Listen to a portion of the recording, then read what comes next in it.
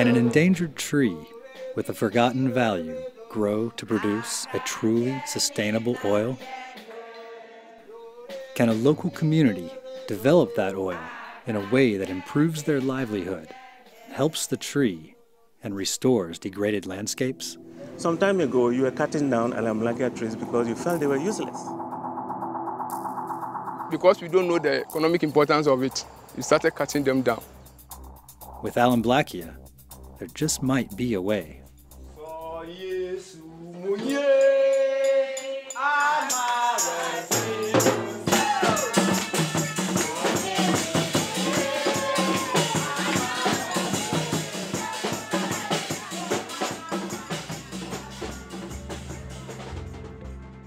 because of the use of cutting down the trees for firewood has become the threatened species under the IUCN Red List categories. We saw real two opportunities was the sustainable use of Allanblackia oil and if you use those species that are threatened it's creating a demand for res restoration of those species. It could provide increased revenue to the country if, if we can export just the seeds or the oil at some, at some point. It will provide more jobs and more, uh, uh, and therefore increases again the value of our forest to local people, for which forest management is all about people. For Switzerland, sustainable management of tropical timber is of high importance. Allanblackia offered the opportunity to develop a sustainable management of such a tropical commodity right from the start. Allanblackia is a unique oil with properties that make it excellent for spreads and creams. So Unilever saw two things of, of, of using Allanblackia and two advantages. Um, first was the unique properties of Allanblackia oil made it really had strong potential for uses in products like margarine and other foodstuffs, but also the potential of harvesting it from the wild and producing it locally um, really fits in with their sustainable living plan and this is, was very exciting from their point of view to take that opportunity to, to not only benefit their work but also farmers in Africa. You know, when Allanblackia it's extracted, quickly it solidifies. Under room temperature, it becomes solid. And it's all because of the stearic acid composition. All products that we use cocoa butter for, in terms of creams, spreads, Allanblackia is also a good substitute. The problem with Allanblackia is there just isn't enough of it. The major challenges I see is to get the adequacy between the production side and also the market demand. Volumes so far are not at the level of ambition of the demand. Now, what we have, we are collecting from the wild are not sufficient even for the industry. And people are coming in they want the seeds because of the oil. The International Union for Conservation of Nature, IUCN, has been working with partners both in Africa and around the world to find ways to increase Allanblackia production in a way that benefits both the people and the environment where it grows. So by having a sustainability standard, it provides a market differentiation point and, and as, as it's being introduced into different products, we're able to say that this has come from a sustainable source and it adds, adds value to the product. The strength of the UEBT system, Union for Ethical Biotrade, is the fact that it's cost-effective way of, of monitoring and meeting a standard for sustainability to ensure that there's benefits going to those local communities. So they receive the, the financial, social and economic and environmental benefits that the production of Allanblackia oil can bring. There are many benefits of increasing the supply of Allanblackia in a sustainable way. Say if you are into cocoa, Allanblackia comes as a bonus. The benefits that the, the, the farmers get from the Allanblackia is enormous. Welcome to my private nursery and I have different species of plants here, including Allanblackia. But when I realized the economic importance of it, I also decided to raise the seedling so that farmers can get them back and then plant them because it has economic potential to change the livelihood of our people in the community. For farmers, Allanblackia can provide extra income when other crops are not in season. Farmers, what they complain about is that our, our incomes are not regular. What Allanblackia has done is that to add an additional income for farmers. In addition to providing an additional source of income for farmers, planting Allanblackia can also benefit their other crops. Bananas and etc. through uh, cola and uh, oranges, mangoes, to, all together.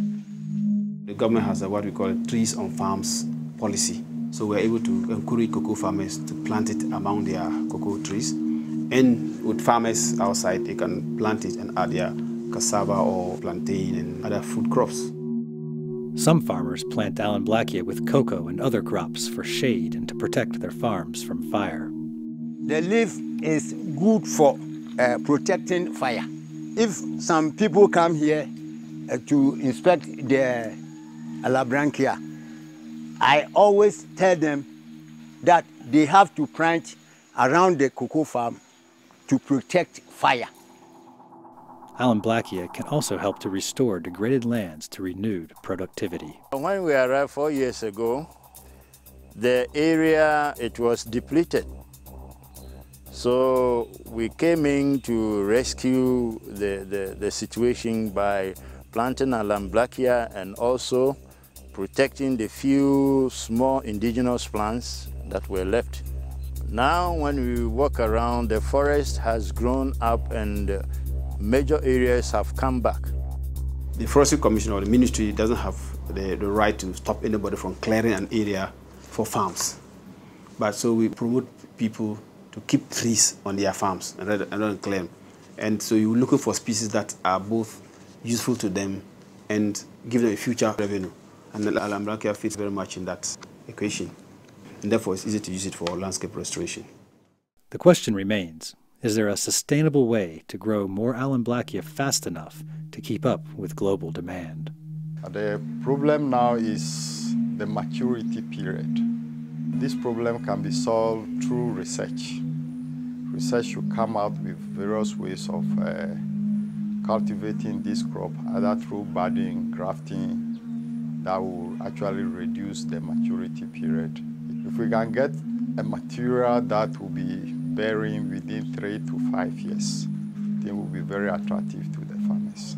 This is a, a rare um, black soil, but I'm collecting some from the mother tree to add it so that it can grow faster. Last year we were able to do soaking and different light intensity, and now we are able to get between 65 to 93% germination, and that, that means we are happy.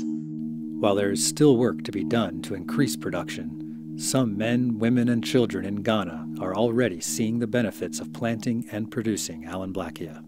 So women collect the Allanblackia, they process it, they dry it, and then they sell it. So that means women get uh, an, an, an income. And then they also use it in supporting their children to go to school. Education is the key to success in life. So when the people have money, they can push their children into the higher institution that they have to send their children. And we continue to promote women involvement, not only as collectors, but even as focal persons, people who purchase the nuts from collectors. There are people who have received training in simple business development skills as a result of the AB, but which has been transferred to other activities. So Allanblackia has get an alternative livelihood aside the cocoa that the family depend mostly on it. So one, it has encouraged school. Two, it has alleviated poverty. Three, it has served as vegetation or protector of vegetation in the district. The trees being planted now and a continued commitment to ensuring sustainability will be keys to reaching Allanblackia's full potential. It will never be a wonder crop that solves Africa or the world's problems, but it can make a worthwhile difference in the landscapes and lives of the people in tropical Africa where it grows. The systems are in place now for it to become a model for developing local resources in a truly sustainable way for the benefit of both the lands and the people around them. Something small like Allanblackia oil, it still is a potential and example of how you can start a new process, a new commodity that's going into international markets from the beginning by ensuring sustainability from the, from the word go.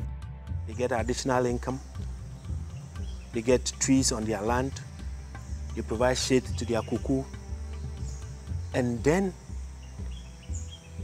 collectively we restore the land. This is a tree that also sequesters carbon. So this is also helping in fighting the climate change. We wish Allanblackia a bright future. It is the future of farming. It just depends on the way we handle it. It depends on the kind of importance we, we give to it. I would want to see in the next few years down the line, raise Allanblackia to, to, to make it a national policy, a national program of action, and, and roll it out to all farmers within all Allanblackia friendly growing areas, like they've done with the, with the, with the, with the cocoa and with the shea. And, and I, I, I, believe if that is done, we will have a greater impact moving Allanblackia into a household. The future for AB is bright. Very, very, very bright from my own thinking.